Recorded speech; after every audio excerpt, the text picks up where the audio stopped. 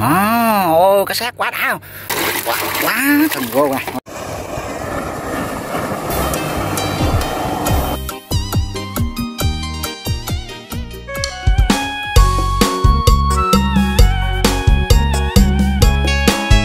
Xin chào cả nhà, chào mừng cả nhà trở lại với kênh youtube Kiệm bơ. Chúc tất cả mọi người một ngày mới vui vẻ, cuộc sống an lành.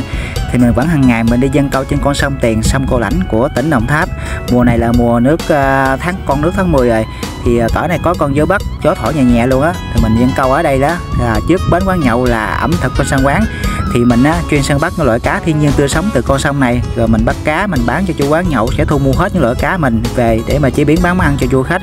Thì mình sẽ chia sẻ cùng cả nhà nha giờ này mình cũng đi vào bờ rồi nè. Mình à, dân câu cái này là con nước tháng 10 rồi.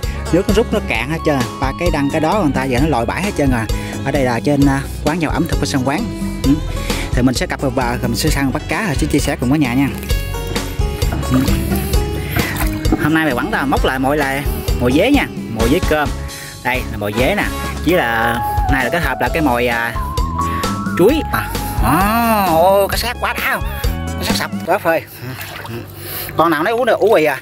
Ờ, cái gà là con nước tháng 10 với con cá sát nó, nó, nó mập ú hơn. Ừ. Để mình bắt ra ngoài mình chia sẻ cho dễ thấy hơn á. Ừ. Quá, quá thần vô rồi wow.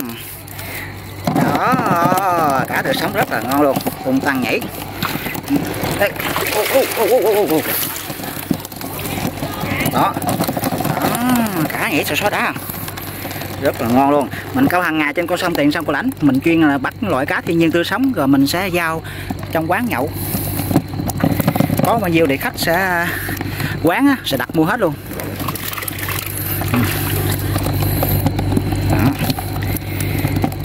khá là ngon không nhảy sò sói rồi. Ừ. cá này là dân gạch kia là cá sắc sọc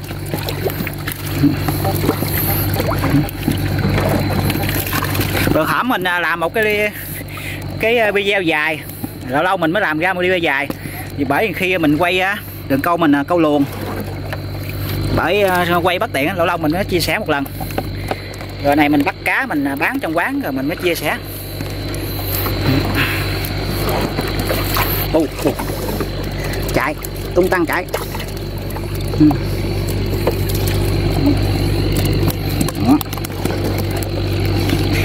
Sát gà nó ú qua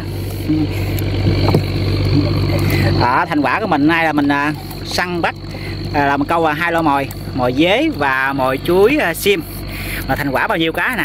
Đó quả đã chưa? Đó. này bà dân là gặt kia cá sắc sọc luôn nha. Đó. cá thiên nhiên tươi sống này rất là ngon luôn. Cá này á, mình vẫn là bán trong quán á.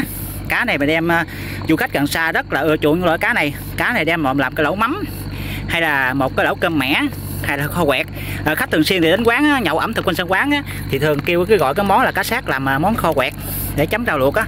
Du khách càng xa rất ở chuộng. Với lại là mình câu mồi là mồi chuối sim chứ là mồi à, dế mồi tự nhiên á. Khách à, khách đến quán ăn cũng rất là không có sợ lo vấn đề mà câu mồi thuốc á sẽ không có hôi.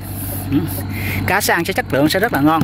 Ừ thì mình chia sẻ cả nhà xong xuôi rồi á, mình đem toàn bộ số cá này, mình sẽ bán cho quán nhậu ẩm thực bên sân quán, sẽ thu mua hết luôn.